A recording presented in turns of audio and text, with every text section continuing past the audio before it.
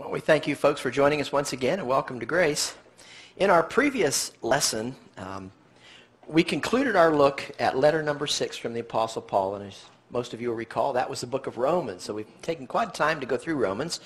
And uh, we know that Paul wrote that letter to the church at Rome from Corinth while he was on his third apostolic journey. Some people say mission, makes no difference to me. When that journey was complete, Paul returned with a financial offering, a financial gift from the believers in Achaia and Macedonia. To the left, if you're watching this uh, message, uh, he had come from Thessalonica. He's now down to Corinth, and he's writing the letter to Roman, to the Romans assembly. And he's got a gift from the people in that area, Greece and, uh, and Macedonia, uh, for the poor Jewish saints in Jerusalem, the Jewish capital city uh, at that time, and uh, still is. And and of course, we know that that's where the Jews that were members of that earthly kingdom promise were located.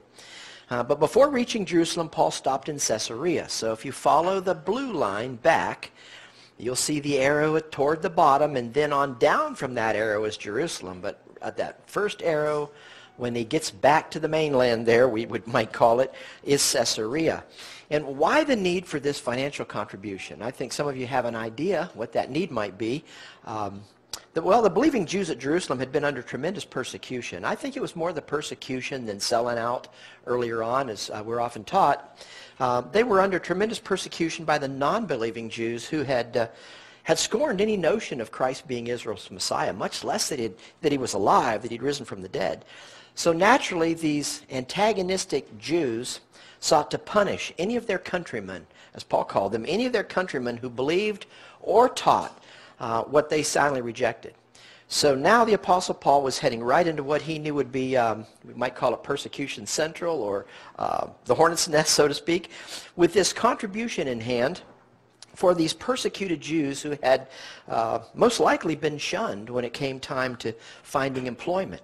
If you go into some parts of the country today where certain belief systems are in play and you try to find employment, you might find it till somebody in that belief system is looking for a job and then you're out the door and the new person is in. So I believe that enough time had passed that these saints in Jerusalem uh, were just finding it difficult to find employment and word had probably gotten out uh, as to what they believed.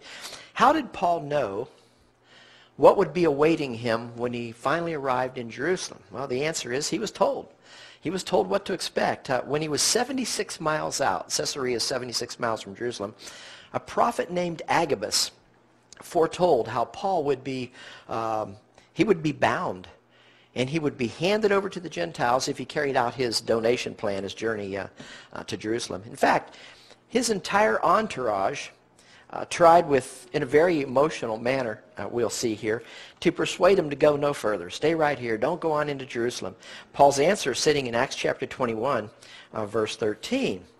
Then Paul answered, What mean ye to weep and to break mine heart? He was, he was uh, getting emotional over their emotion. For I am ready not to be bound only, but also to die at Jerusalem for the name of the Lord Jesus. Now, how many of us have that kind of commitment uh, to what we believe? But Paul was ready to give his life. They obviously loved the Apostle Paul.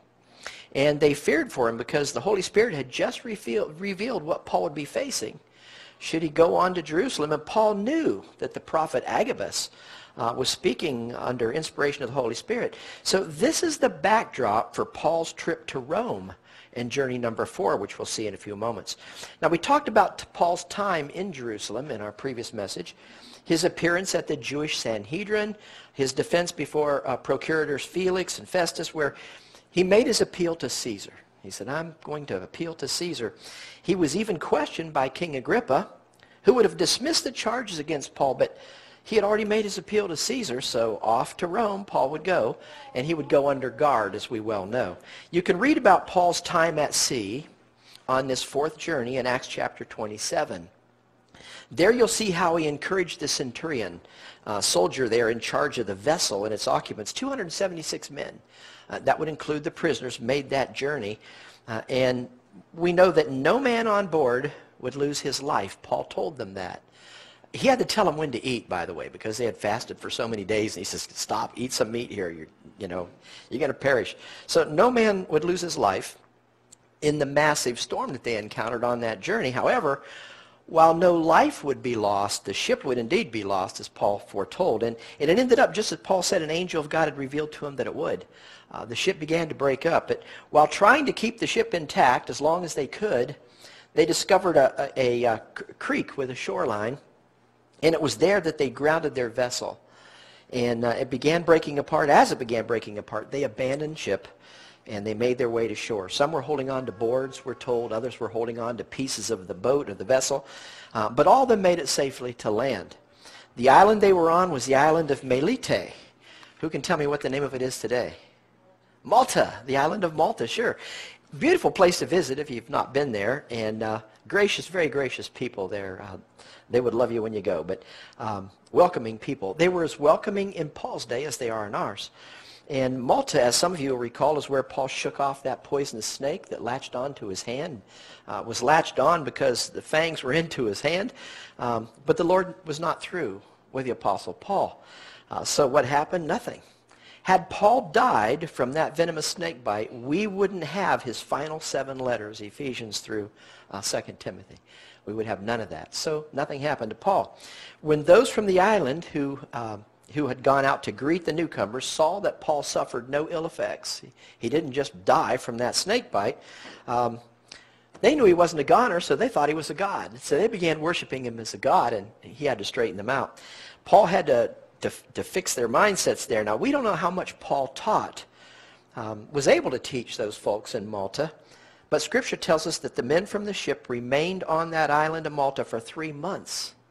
So uh, the people were being were being healed of their various diseases the whole time Paul was there. And they were honoring Paul and those along with him. And the islanders supplied Paul and all those of the ship with everything they could possibly need while they were there.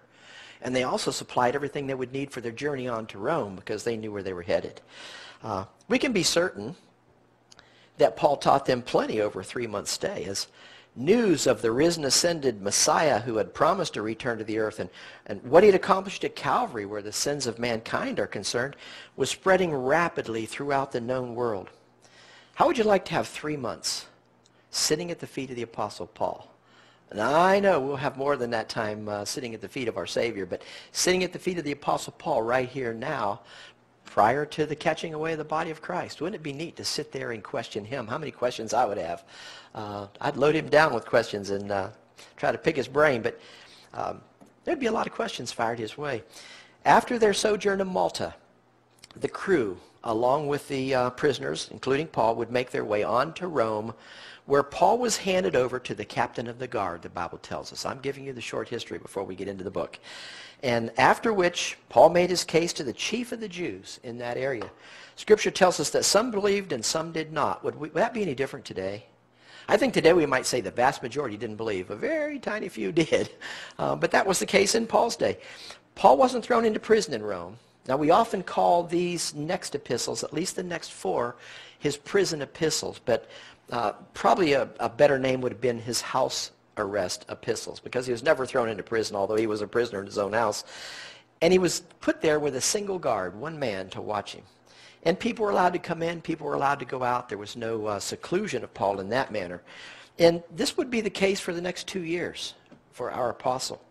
It was during this two-year period under house arrest that Paul wrote at least four of his remaining seven letters.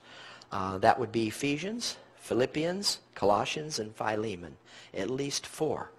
This is why these four letters are, are often called, as, as I've said, his prison epistles. Um, house confinement letters, we might say. First letter he wrote from Rome.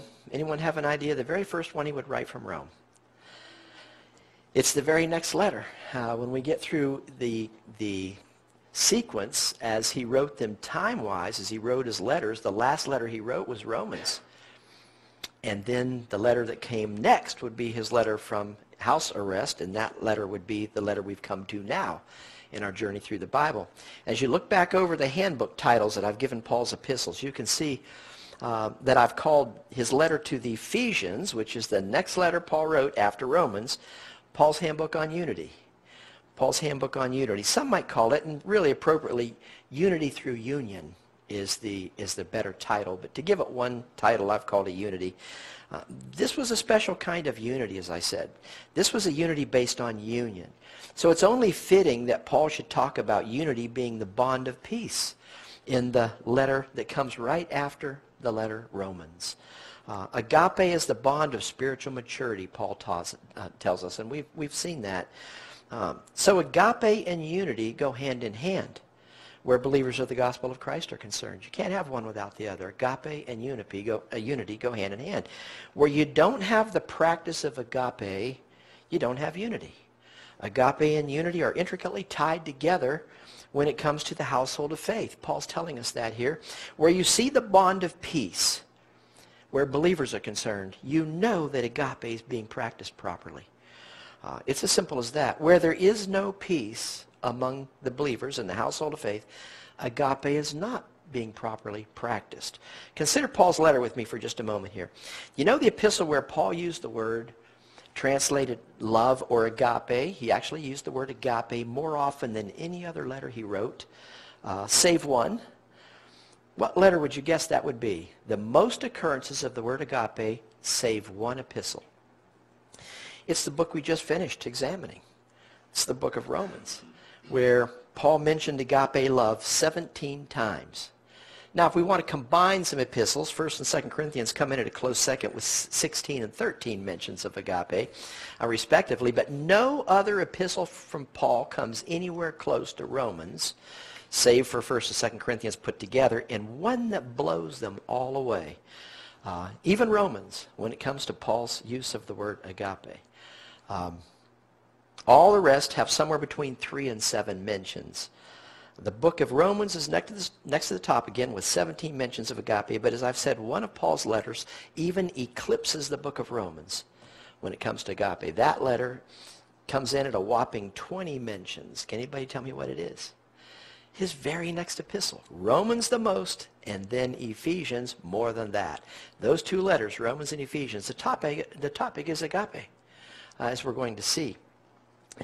Romans, Paul's handbook on faith, and Ephesians, his handbook on unity, are where we see Paul talk about agape most often. Faith with its resultant agape love and unity with its resultant peace are what these epistles are all about. So you know kind of going in where we're going with Ephesians.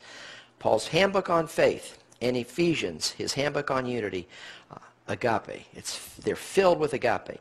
Think of it this way. Faith and unity go hand in hand, and the result is love and peace. Uh, when we see that unity doctrine, faith doctrine in operation is love. You see it at the top there. That was Romans. Unity doctrine, operating properly, brings peace. Faith, love, unity, peace. That's the order in which Paul presents these four issues in these two epistles, Romans and Ephesians. Let me quick, quickly show you what I'm talking about here. Think back to Romans for just a moment. Do any of you recall Paul's words in Romans chapter 13, verse 8, the text of our previous message as we concluded our look at Romans? Here it is once again, just to refresh our memories. Romans chapter 13, verse 8. You'll know it as soon as you see it. Oh, no man anything but to agape one another, for he that agape, he that loveth another, hath fulfilled the law. Now that statement is sitting in the final cornerstone of Romans. The actions based upon attitude section of Romans, we might call it. The final section of Romans. We might also call it behavior based on belief uh, as a section in Romans. It's the presentation cornerstone of Romans. So in Romans, Paul presents the great doctrines of faith and the logical outworking of that faith, which is love, agape. So there he is in Romans, faith, love. His very next letter was written to the saints in Ephesus, the book of Ephesians. This would be a most important letter because in Ephesians, Paul talks about unity and peace. The products of faith and love are unity and peace. Do you see the progression if we look at the chronological order of the epistles as Paul wrote them? And the issues he wants these saints to understand is the unity aspect these folks were failing to appreciate in Ephesus. Now stay with me here for a moment and you'll see what I'm talking about. When it comes to no unity and therefore no peace between two different people groups in your Bible, What two people groups might I be referring to? Anyone have an idea? Someone spit it out. The Jews and the Gentiles. No peace, folks. Uh, I'm sure you know that answer. The two people groups were the Jews and the Gentiles. Not much has changed in the world, has it? Um, basically, all those who are not of Jewish heritage are Gentiles. The Bible translators used other words such as heathen in the place of the Gentiles. Now consider the reasons for the hostility that existed and still exists today, unfortunately, in many circles, between these two people groups, the Jews and the Gentiles. So let's travel back in history and let me show you some of that hostility and how it was deeply embedded in the minds of both Jews and the Gentiles. The Gentiles had given up on God, we were told early on. In human history, they'd given up on God, according to the Apostle Paul. They had become too wise in their own minds to entertain such foolishness as a single most high God if that God was not a God of their own design, of their own choosing. If they felt the need for a God, why, they were wise enough in their conceited manner of thinking to create that God for themselves. It would be uh, God, little g, of course. And Paul states that very thing in Romans chapter 1, verses 21 and 22, where he tells us, because that when they, the word they there, the pronoun speaks of nations or Gentiles. It's the same word. When they, the Gentiles, knew God, they glorified him not as God, neither were thankful, but became vain in their imaginations, and their foolish heart was darkened. Professing themselves to be wise, they became what? Fools. Now the, the word heart, their foolish heart, not their foolish hearts. Their foolish heart was darkened. It's singular in that passage because Paul was speaking corporately there. Here we're speaking of the Gentiles as an entire group, all the nations. According to Paul, the Gentiles began worshiping the creation, the creatures, above the Creator. What did God do? But how did he respond to that? Well, most of you know the answer. You're aware of the rest of the story. God chose one man out from among those nations, those Gentiles, and through that single man, Abram, God would form a single nation. In fact, God made a covenant with Abram to give to him and to his seed after him a land, a piece of real estate on this planet as an everlasting possession. But who had become the occupiers of that territory, of that land, long before God gave it to Abram? The answer is Gentiles. The Gentiles were already there when Abraham went to walk the length and breadth of it. Here it is in Genesis chapter 12, verse 6. And Abram passed through the land unto a place of Shechem, unto the plain of Moreh.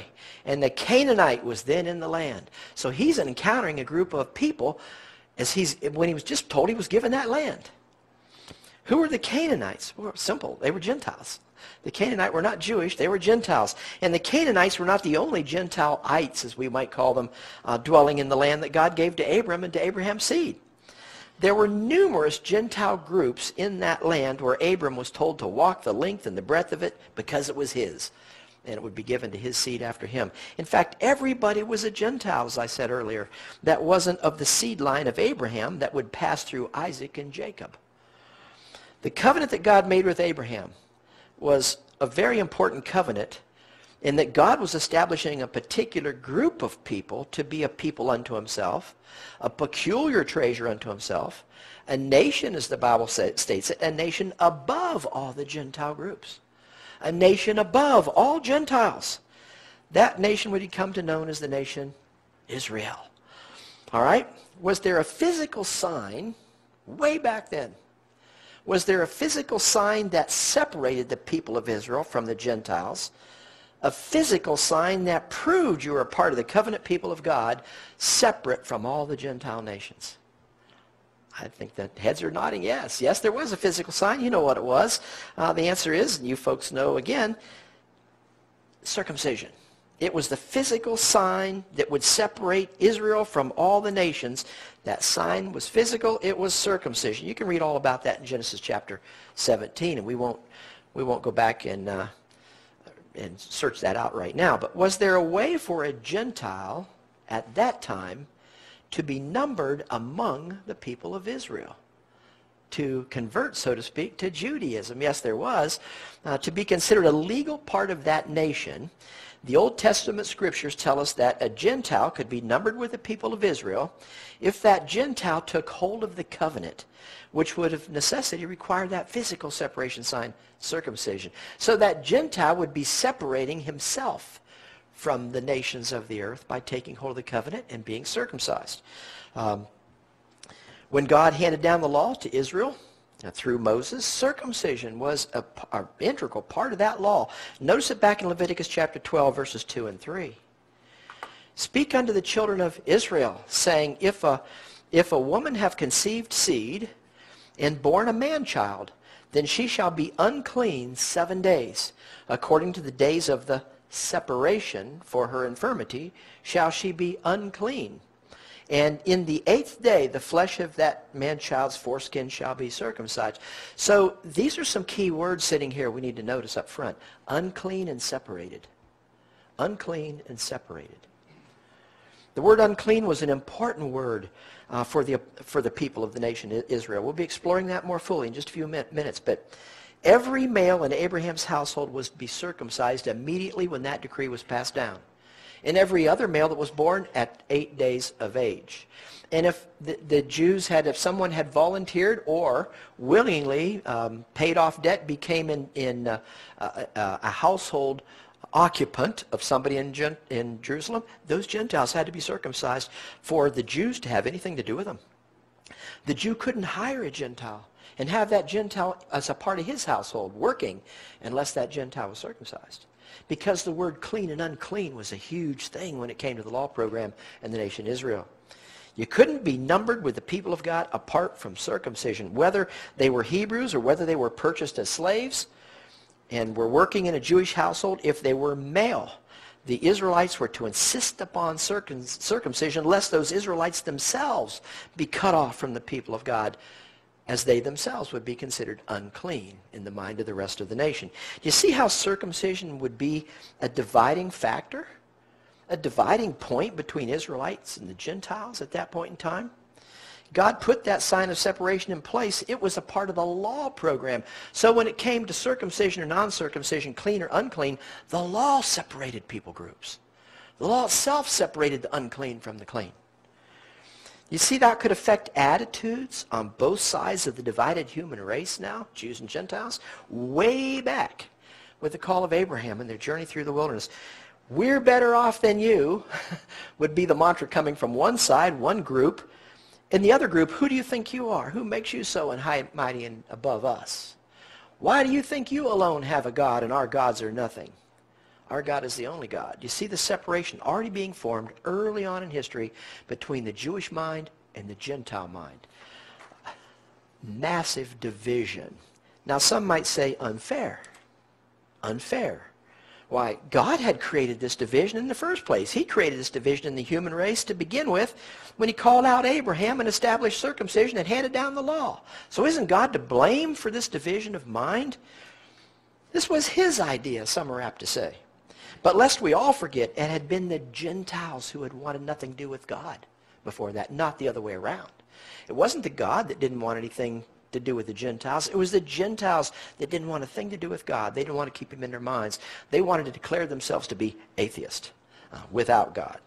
So a Gentile at that point in time could have willingly taken hold of the covenant and could have chosen to be circumcised. In other words, a Gentile could convert to Judaism he'd have to give up his Gentile status and take up the status of Judaism. Um, but I think you can see how the pride of life would affect the attitudes of the Jewish people toward the Gentiles back then. And vice versa. The Gentiles were equally as antagonistic in their own pride nature when it came to their attitude against the God of Abraham, Isaac, and Jacob and against the people of the nation Israel. So you've got heads batting against heads here. And these are deeply ingrained things, and naturally it would be deeply ingrained in the children, wouldn't it, of the parents at that time? When Samson and then David called the, the Philistines uncircumcised, that wasn't a mere medical description. He wasn't saying, well, that's just a medical description here for those people. No, that was an ethnic insult. That was a, a poisonous or pointed poisonous slur when he said those uncircumcised. They were unclean. And throughout the Old Testament scriptures, the storyline is that the physically uncircumcised, the unclean Gentiles, were the enemies of God. Now follow the story. You know where the separation, the division came in the minds of man. Unclean enemies of God. In fact, the prophets used terms for the uncircumcised, such uh, for the Gentiles, and heathen was used, barbarian was used. You see the different different words. It's not difficult to understand how there was no love loss between these two people groups, and it just got worse and worse as time progressed. Obviously, there was little peace between them unless one side thought they had something to gain, something of value to gain from the other, and a treaty might be signed, a truce might be declared. The pride of life, working against the law of circumcision itself, had resulted in an enormous amount of enmity, as we would call it, estrangement between the two major people groups of mankind, Jews and everyone else, Jews and Gentiles. Think back. Who had kept the Jewish people captive in Egypt to begin with? Was it other Jews? No. It was Gentiles. It was the Gentiles. And carry it forward. Who was continually confronting Israel, trying to hinder Israel's journey to the land God had given them as they made their way through these Gentile territories? Who was continually confronting the, the Jews and trying to hold them back, deter their journey? Why, well, was Gentiles. So you see how the attitudes are becoming more and more deeply ingrained in the people? Now think back to Israel's entrance into their promised land for a moment. Now they're entering that land under Joshua. God said, be strong, be courageous. I'm here, I'm with you. Be strong, be courageous. Two great words. When the Jewish people entered the land, God had given to them, in his foreknowledge, uh, in his foreknowledge of the mindsets of the Gentiles as having been firmly set against him, he told the Israelites to take no captives of the Gentile men. He knew what was in the minds of the Gentiles. He knew what would be coming down the road from those Gentiles if they left anyone alive. So he said, take no captives uh, of, of the Gentile men, slay the men, spare the women, spare the children, and spare the cattle. But when it comes to the men, slay every man there. Do you remember that in your Bible? If you wanted a, a note, you could go back to Deuteronomy, Deuteronomy chapter 20. People say, wow, this is our barbaric God. Who'd want to believe in the God of the Bible? He's telling them to slay every male alive. But God knew what was in the minds of those Gentile nations, and he knew where those Gentile nations would lead the people of his nation, honoring him. God has foreknowledge. You can find that story, by the way, in Deuteronomy chapter 20. They weren't to marry the Gentiles. They weren't to mingle with the Gentiles. They were to smite and utterly destroy them, Deuteronomy 7.2. You see, God knew how the unbelieving nations, or Gentiles, the rejectors of the Most High God at that time, would influence the Israelite people once they entered their land. In some cases, the Israelites were to allow nothing that breathed to remain alive. Listen to the, to the instructions that God told Samuel to relate to Saul concerning the Amalekites in 1 Samuel chapter 15, verses 1 through 3. This is not a pretty passage, folks. But keep in mind, it was the Amalekites as Israel was traveling through the wilderness. It was the Amalekites that encountered the Israelites and held them back, laid in wait, and struck them uh, as they were coming through. Listen to what God's telling Samuel to tell Saul. Samuel also said unto Saul, The Lord sent me to anoint thee to be king over his people, over Israel. Now therefore hearken thou unto the voice of the words of the Lord. Listen up, Saul. God's speaking to you through me, and this is what God is saying to you, Saul. Listen carefully. Do exactly as God tells you, Saul. That's the idea here. Now watch what Saul was to do in, in verses 2 and 3 of 1 Samuel 15. Thus saith the Lord of hosts, I remember that which Amalek did to Israel how that he laid wait for him in the way. Now, we have memories, and mine especially is not so good at some times. But God has a memory. And he had a memory of what happened to Israel when they encountered the, Amalek, eh, the Amalekites. How he, they laid wait for him in the way when he came up from Egypt. Now go and smite Amalek and utterly destroy all that they have and spare them not. Now this is a really unpleasant part.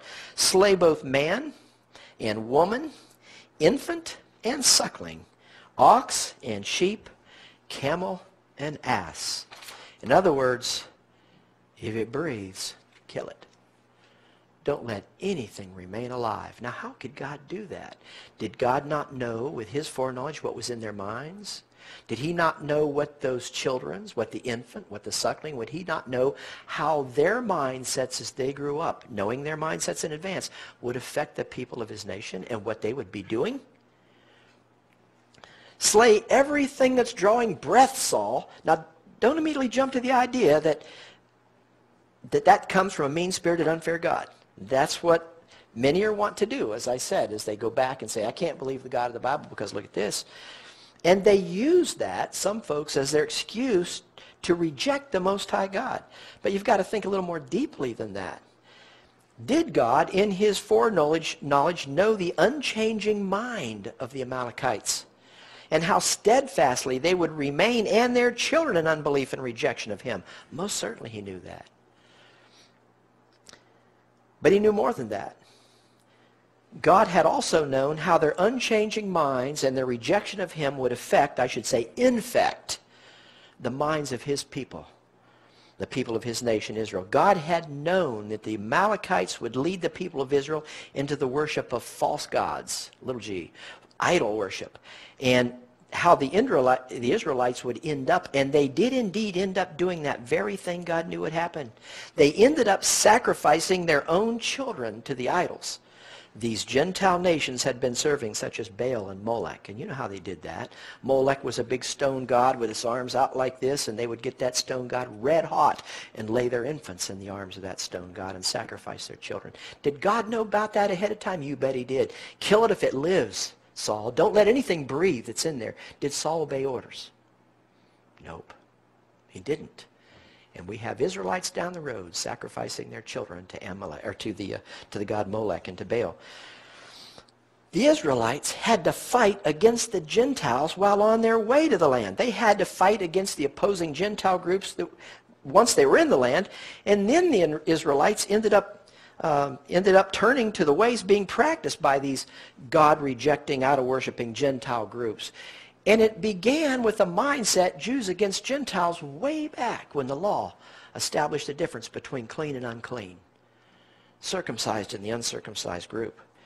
When they were finally cast out of their promised land, and those who have been through the series know there was a fifth bucket of wrath God promised would come upon the nation, who swore they could keep his law, keep it faithfully, keep it consistently, and when they didn't, these buckets would fall in succession, and the fifth bucket did indeed fall. Israel was cast out of their land spewed out of the land. And they were taken captivity by, by whom? Gentiles. Gentiles.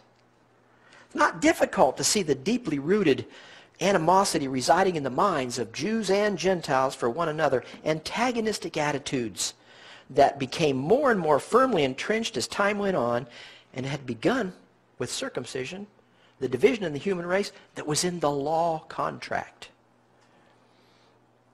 The Gentile nations uh, opposed God, and they opposed God's people, and they opposed, uh, they opposed everything that had to do with the God of Abraham, Isaac, and Jacob. The greatest enmity in Scripture is, of course, the enmity that exists, I believe, in Satan's mind for the Most High God. But aside from that, I, I think we'd all be hard-pressed to find any greater degree of enmity than that which existed and still exists, as I said earlier, unfortunately in many circles, between Jews and Gentiles. There was no greater enmity in the world. Think back to the law program for a moment. The word unclean is used 110 times in the book of Leviticus alone in connection with the law of Moses. The refusal to be circumcised caused a person to be legally, lawfully unclean. We read that a moment ago. Ceremonial cleanliness was a huge part of the Israelites' religious life, which required all those ceremonial washings called baptisms in Scripture for Israel, because that would restore a cleanness from an unclean position or status. The law of Moses provided the prescription, and in some issues, there was none. To, to restore a Jewish person who had become unclean, according to the law of Moses, back to a condition of cleanness. What then did that make the Gentiles, who had never been given the law of Moses in the first place, nor any prescription for uncleanness in connection with the law they'd never been given? Why, it made the Gentiles unclean. As far as the Jewish people were concerned, they were unclean.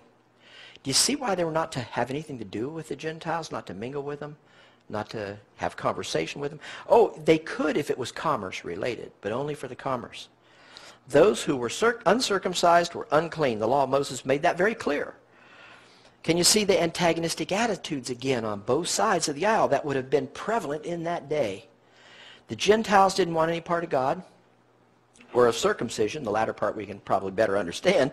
But the Jews, on the other hand, considered the Gentiles to be godless barbarians, pagans, unclean heathen, according to the words used in your Bible. Now, fast forward. Fast forward in your mind to the days of Jesus Christ and his ministry as a Jew under law, Israel's promised Messiah no less, to the Jews who had been placed under the law of Moses. How about the disciples in Matthew chapter 15 to whom Christ spoke um, when the Canaanite woman asked him to cast a demon out of her daughter?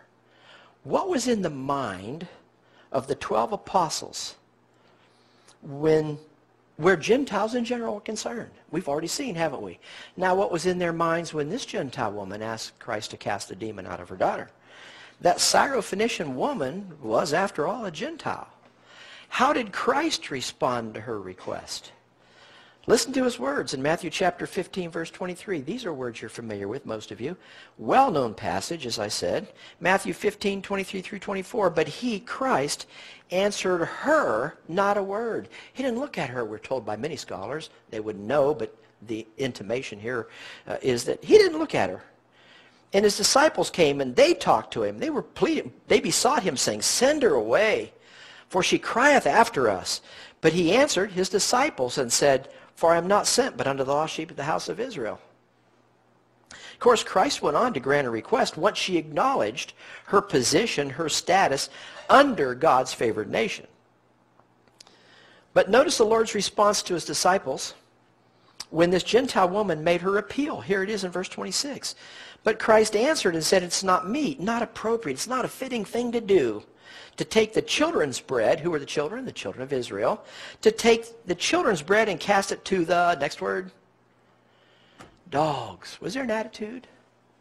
Was it a legal attitude? You see, Christ's crucifixion hadn't taken place at this point. And his reply was in direct keeping with his command he had just given the 12 in Matthew chapter 10, verses 5 and 6.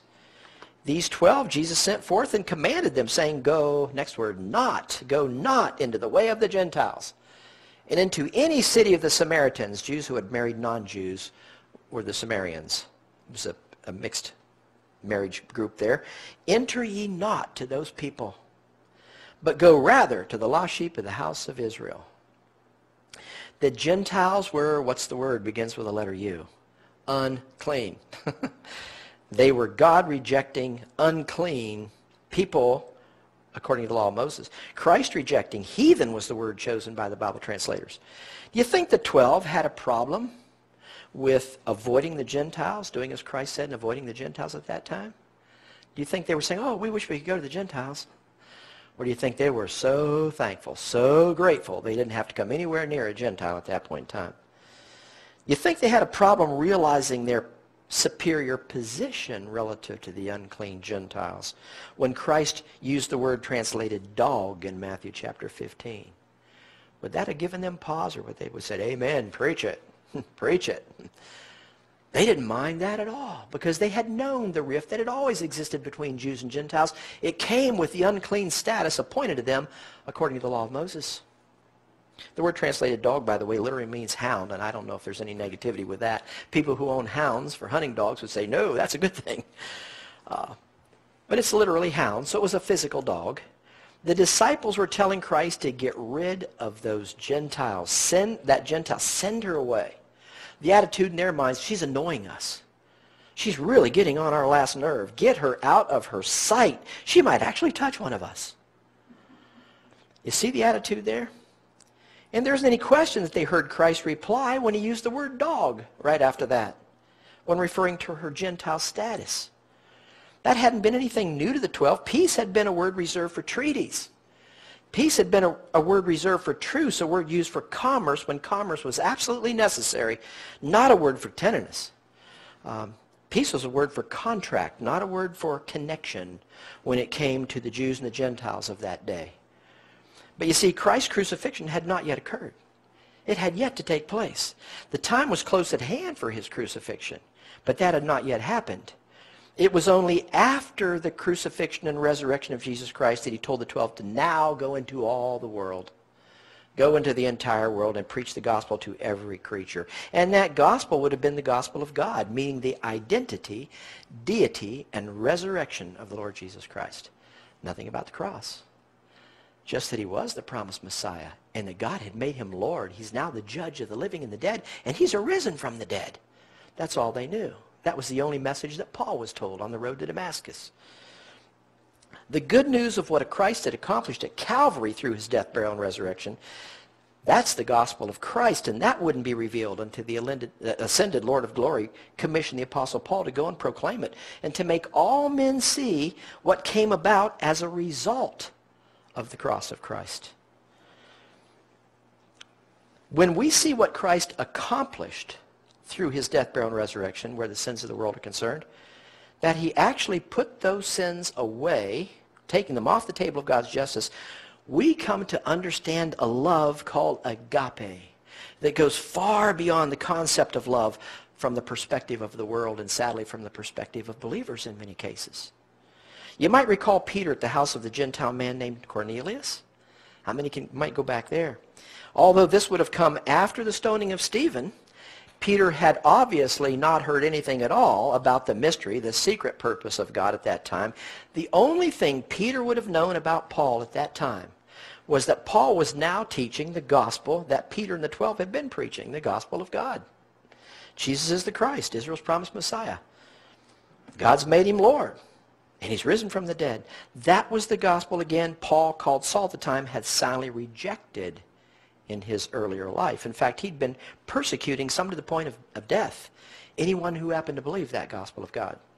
So what did Peter say to the entire group? After the angel of the Lord went, uh, sent him to this Gentile man's house named Cornelius, Peter said, Ye know how that it is an unlawful thing for a man that is a Jew to keep company, or come unto one of another nation. Why? They were unclean. They were unclean. But God hath showed me that I should not call any man common or unclean. Acts 10.28. I like it how, I think it was Frank put it earlier, the table was being set for Peter. Peter was beginning to see, whoa. Now, did Peter know what the cross had accomplished at that point? No. But he did know that God was no respecter of persons. Why now, he can't call those Gentiles unclean any longer.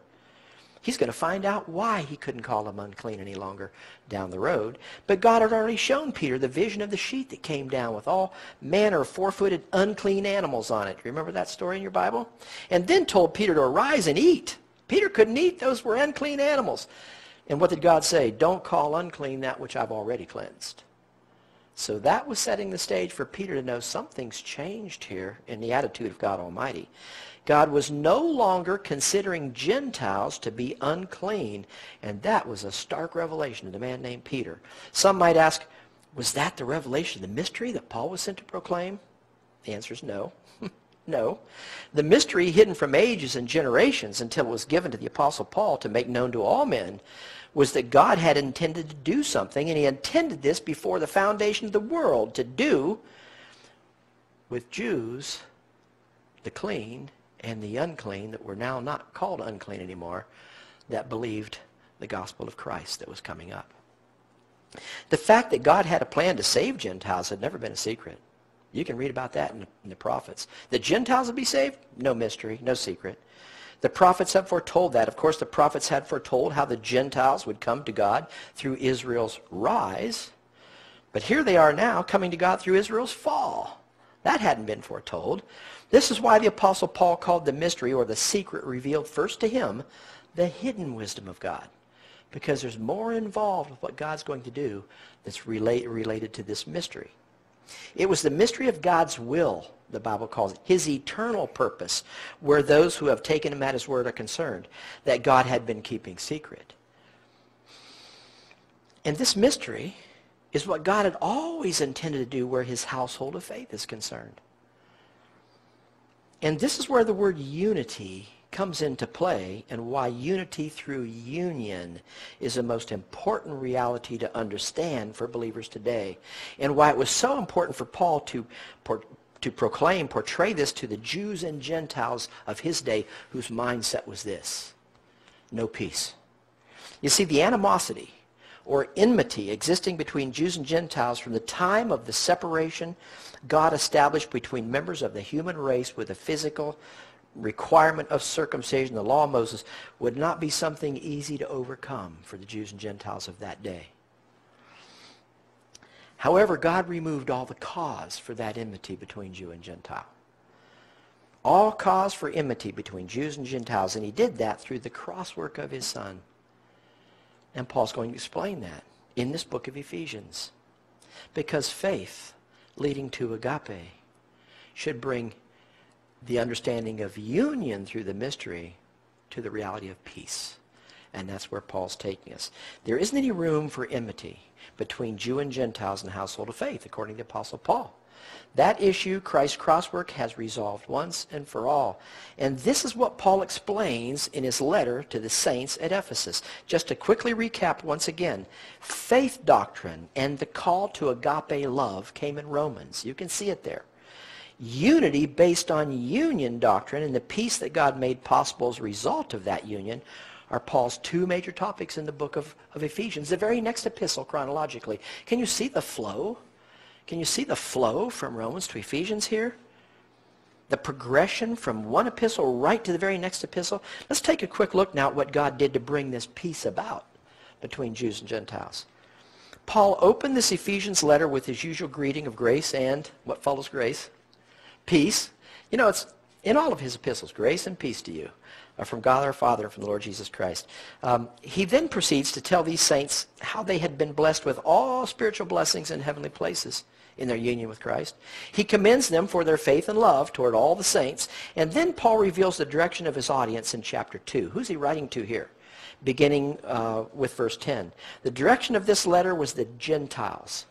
And the backdrop was backdrop was all that antagonism that had existed between the Gentiles and the Jews of that day. And so he's addressing his letter to the Gentiles.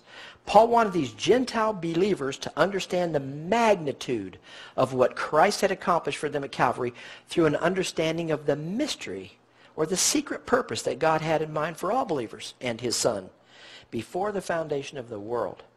Uniting all believers to his son had always been God's purpose, his eternal purpose. He just hadn't made it known until the Apostle Paul was sent to proclaim it to all men, and that would include Jews and Gentiles alike. I'm going to unite all believing mankind through all the ages. I'm going to unite them to the very person of my Son. That's union. Do you see why Paul could say grace and peace to you believers in every epistle he wrote? Grace and peace, grace and peace from God our Father and Lord Jesus Christ. I guess so. Does God know about the union that exists between believers and his Son? You bet he does. He established it. It was his intent, his eternal purpose. It was the purpose of his will. And now he's telling Paul, make it known to everyone, Paul. Don't exclude Peter, James, and John. Don't exclude those people. Make the fellowship, the koinonia, the oneness of the mystery known to how many people? Make it known to everybody, Paul. And he, he most certainly did that. It's the core. It's the core. Paul boiled the law down to one word. Who can tell me what that word was? Remember? It's agape. It was the word agape. You know, Christ boiled it down to, well, it's boiled down to the Ten Commandments and down to the two statements, love the Lord your God, love, love your neighbor as yourself. And then Paul narrows that down further and just calls it agape. Love. Love fulfills the law. So love, he boiled down that law to one word, and that word was agape. Love worketh no ill to his neighbors. Therefore, love, agape, is the fulfilling of the law. If we had to boil the mystery down to a single concept, a single reality where all believers are concerned. That reality is union-related unity. That's three words, but union-related unity. You see, it will only be through an understanding of our union with Christ and therefore our union with fellow believers, which is the core of the mystery, that peace could ever be realized between believers, whether in Paul's day or in ours. So Paul's explaining it right there in Ephesians. We saw the separation that God established in the human race, a separation between Jews and Gentiles, with the call of Abram and the physical sign of the covenant called circumcision. The law itself created that division in humankind by establishing what was clean and what was unclean. And only the Israelites had the ceremonial washings again, or the baptisms, um, which were God's ordained method uh, or prescription, we might call it, for cleansing. Those baptisms themselves were a part of the law program, the law of Moses. So follow it through. The only way to do away with the enmity between Jews and Gentiles was to first do away with the clean and unclean designations in humanity. God had to erase the difference between clean and unclean. Now watch God remove that enmity through the crosswork of his son. Here it is in Ephesians chapter 2. I know we've covered these things in the past, but here we are in the book of Ephesians, and since Paul presents it, the heartbeat of the mystery right here in this letter, we must re-examine it once again. I'll start reading with verse 11. Wherefore, what do you remember? What do you Gentiles have in your minds? You remember the enmity, don't you, Gentiles? In time past, you were Gentiles in the flesh, who are called what? You're called uncircumcision by that which is called the circumcision in the flesh made by hands. There's that division. Why the Jews called you unclean in the past. You were called the uncircumcision that at that time you were without Christ, being aliens from the commonwealth of Israel, strangers from the covenants of promise, having no hope and without God in the world. You had to have your status changed if you wanted anything to do with God. But the great hinge verse and the great hinge words, as this door is opening from one thing to another thing, sits right here in Ephesians chapter 2. But now, something has changed. Oh, you didn't have anything to do with them in the time past because you were unclean. You were the uncircumcision. But now, in Christ Jesus, Ye who sometimes or for a time were far off are made nigh by the blood of Christ. Christ's shed blood was the sacrifice necessary to not only redeem the Israelites from the curse of the law, but to also redeem the entire unclean human race from what that curse would accomplish for the entire human race, which would include Gentiles. the eternal counsel of the Godhead had planned before the foundation of the world to have the law's requirements perfectly satisfied through the sacrifice of the God-man Jesus Christ, his faithfulness, thereby eliminating the enmity in the human race. Do you see what happened at Calvary? That which had resulted in no peace between Jews and Gentiles, namely division between the clean and the unclean, written into the law of Moses, was no longer a division issue. Notice it here in verses 14 and 15. For he, Jesus Christ, is our peace, who hath made both, both who? Both whom? Jews and Gentiles, who had made both Jews and Gentiles one, and hath broken down the middle wall of partition between us, having abolished in Christ's flesh the enmity, even the law of commandments contained in the ordinances, for to make in himself of the two, Jews and Gentiles, one new man, so making peace. That one new man would come through the union established in the household of faith between the believer and Christ himself. And if I'm joined to Christ, united to Christ, so that we are one, so that what belongs to him belongs to me, and a Jew comes along and that Jew believes in what Christ accomplished for him at Calvary as well as me, and there is no unclean clean status anymore, because God can recognize the Gentiles today and wants to recognize the Gentiles today as he always wanted the Jews to take his word to the Gentiles. And that Jew is made a member of Christ's body of his flesh and of his bones, one with Jesus Christ, then that makes the Jews and the Gentiles one. That makes them one. The mystery, the heartbeat of the mystery was the union that God had always intended to establish between his household of faith and the person of the Savior, making them one with their Savior. And if I'm one with my Savior and you're one with my Savior, then what are we sitting right here today? We're one. So that's the bridge, folks. That's the bridge between, there is a bridge between love, agape, and peace. And Christ had to span that bridge for us, and he did. Now we have to span that bridge between one another if we're to realize that the peace that agape is to bring us to. Notice it here in Ephesians 2.16. And that he might reconcile both Jew and Gentiles unto God in one body by the cross, having slain the enmity thereby, and came and preached peace to you which were afar off, the Gentiles, and to them which were nigh, the Jews. Amazing thing. And if that weren't enough, again, this one flesh relationship between the believer and the Son of God, that same one flesh relationship would be true of believers with other believers, even with the believer you happen to like the least. You're as joined to the believer you like the least as you are to Christ himself. And if there's peace that Christ can give you because he spanned that bridge between love and peace, what can we do with one another? And there is a bridge, and I want to take you to that bridge. Let me put two verses back to back from Romans and Ephesians. They follow in sequence. Here's Romans 11 or 13:8. Owe no man anything but to love one another, for he that loveth another hath fulfilled the law. Romans 14:19. Let us therefore follow after things which make for peace, and things wherewith one may edify another. You see the move from love to peace? Now the same order appears in Ephesians, the very next book.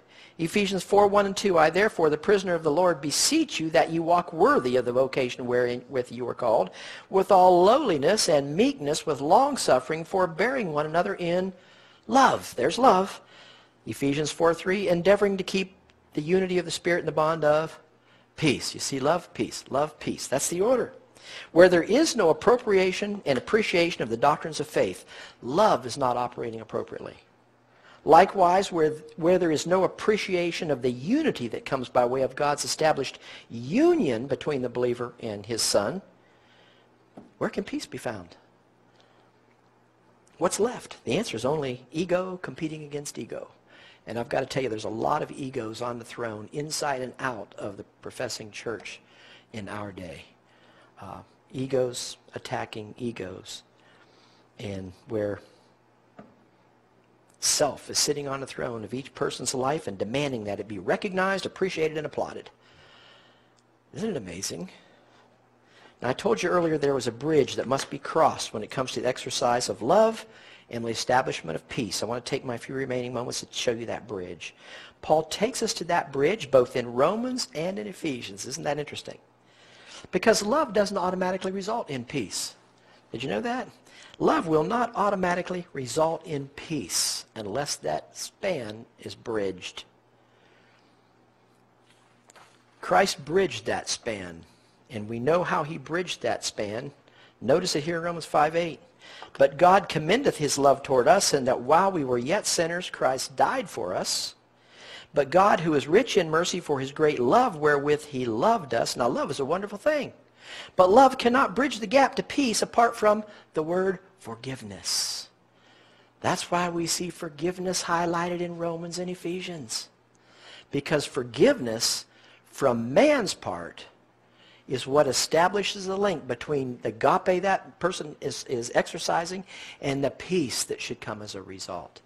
Without forgiveness, you have no peace. If we had not been forgiven at the cross of Christ, when God reconciled the entire world unto himself, not imputing their trespasses unto us, if we had not been forgiven by the cross of Christ and at the cross of Christ, if the household of faith could not have been forgiven, Paul could not have written grace to you and, next word, peace from God our Father and from the Lord Jesus Christ.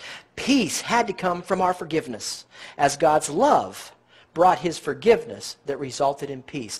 If we're going to have peace one with another today, what must we exercise, folks? Forgiveness. Forgiveness. If we don't, we'll never have our agape resulting in peace. Paul made it clear. Wonderful news. Having abolished in his flesh the enmity, even the law of commandments contained in ordinances, for in, to make in, in himself of the two of them the one new man, so making peace, and that he might reconcile both unto God in one body by the cross, having slain the enmity thereby, and came and preached peace to you which were far off, Gentiles, and to them that were nigh. Wow. Where is the forgiveness mentioned? Well, here it is in 2 Corinthians chapter 5, verses 19.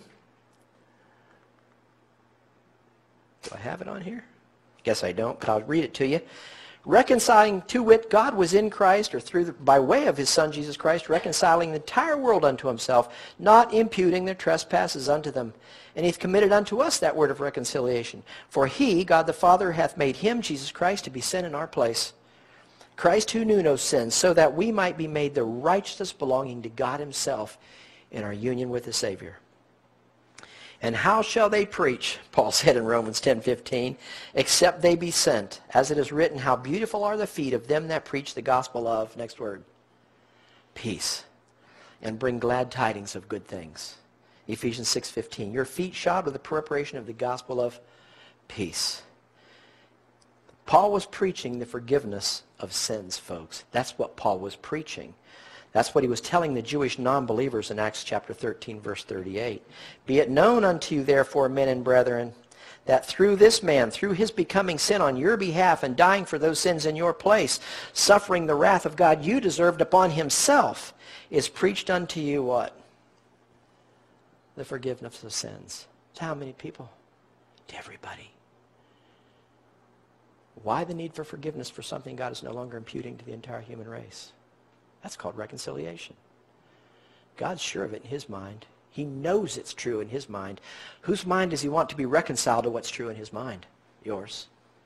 The world's. He wants the world to understand God's not counting their sins against him. He counted them against his son.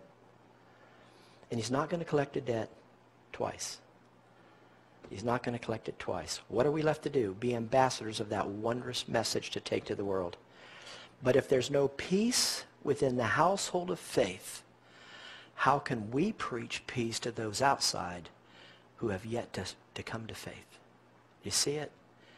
We have to have the peace operating and the forgiveness in place so that we can take this message out to others that they might want the peace that we now enjoy with one another. Thank you folks for coming. Let's close it there for today. We'll pick it up next week as we continue one more maybe one more message in the book of Ephesians, maybe two. Who knows? It's taken us what, two years to get where we are right now in our journey through the Bible. I'm enjoying it. I hope you do too.